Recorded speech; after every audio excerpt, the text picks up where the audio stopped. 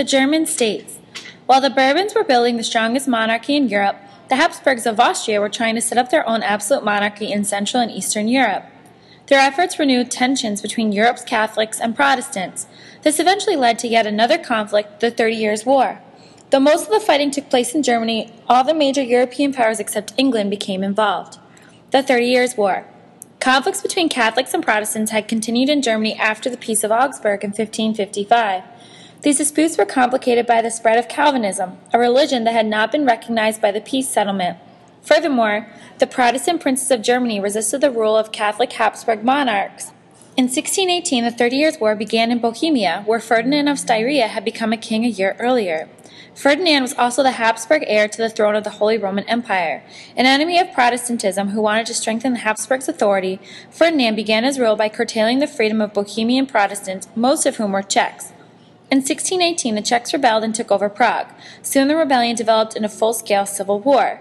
Ferdinand and Catholic princes against the German Protestant princes. Philip III of Spain, a Habsburg, sent aid to Ferdinand. The Czech revolt was crushed by 1620, and over the next 10 years, the Czechs were forcibly converted to Catholicism. Instead of ending, however, the war continued. Protestant Denmark now fought against the Habsburgs, hoping to gain German territory. The Danes were soon defeated and forced to withdraw. Then Sweden entered the war to defend the Protestant cause. By the time the war had been going on for 12 years, and religious issues were taking second place to political ones. In 1635, under Cardinal Richelieu, Roman Catholic France took up arms against the Roman Catholic Habsburgs to keep them from becoming too powerful. For 13 more years, the war dragged on, rival armies plundering the German countryside and destroying entire towns. Historians estimate that Germany lost about one third of its people. When the conflict finally ended in 1648, the outcome was the further weakening of Germany and the rise of France as Europe's leading power. The Peace of Westphalia ended the war, recognized Calvinism among the official religions, and divided the Holy Roman Empire into more than 300 separate states. The Habsburgs still ruled Austria and Bohemia, but their control of the other German states was in name only, thus ending their hope of establishing an absolute monarchy over all of Germany. Austria. After the Thirty Years' War, the Austrian Habsburgs concentrated on building a strong monarchy in Austria, Hungary, and Bohemia. Austria was still the most powerful of the German states. In 1683, the Austrians, with the aid of the Poles, lifted an Ottoman siege of Vienna. By 1718, Austrian armies had regained territory in the Balkan Peninsula from the Ottomans. As a result the War of Spanish Succession, the Austrians received the Spanish Netherlands and acquired lands in Italy. In 1740, 23-year-old Maria Theresa inherited the throne of Austria from her father, Holy Roman Empire, Charles VI. According to law and custom, women were not permitted to rule Austria. In 1718, Charles had convinced the monarchs of Europe to accept a pragmatic sanction, or royal decree having the force of law, by which Europe's rulers promised not to divide the Habsburg lands and to accept female succession to the Austrian throne. Maria Theresa had not received any training in political matters, yet she proved to be a clever and resourceful leader.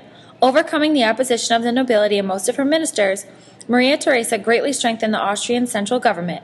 She reorganized the bureaucracy, improved tax collection, and furthered the building of roads. Understanding that the unity of her empire depended on a strong economy, Maria Theresa ended trade barriers between Austria and Bohemia and encouraged exports. She also used government funds to boost the production of textiles and glasses. Prussia.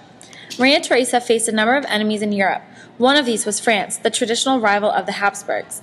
In the 1700s, a new European rival rose to prominence in northeastern Germany.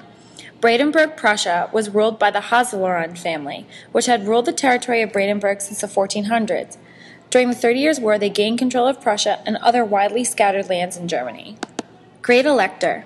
One of the greatest of the Hohenzollern monarchs was Frederick William. He held the title Great Elector. After the Thirty Years' War, Frederick William increased the strength of the Brandenburg Prussia by creating a permanent standing army. To meet the cost of his army, he proposed raising taxes. The Junkers, or nobles, opposed this plan. Frederick William then worked out a compromise with them. He permitted only Junkers to be landowners, freed them from taxes, and gave them full power over the peasants.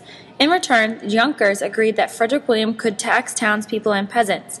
These two groups were too weak to organize and oppose this increased burden. In 1663, the Junkers further strengthened their ties to the Hohenzollerns. They pledged allegiance to Frederick William. As a result of this alliance with the Junkers, Frederick William was able to become an absolute ruler. Frederick William was succeeded by his son Frederick I. Frederick aided the Austrian Habsburgs against Louis XIV in the War of Spanish Succession. As a reward, Frederick was given the title of king. He was, however, a weak ruler who did little to strengthen his country. Frederick William I. Frederick William I, who ruled from 1713 to 1740, was a powerful leader. He centralized the Prussian government, uniting all functions into one bureaucracy under his direct control. He supported production and trade and brought more revenue into the government treasury.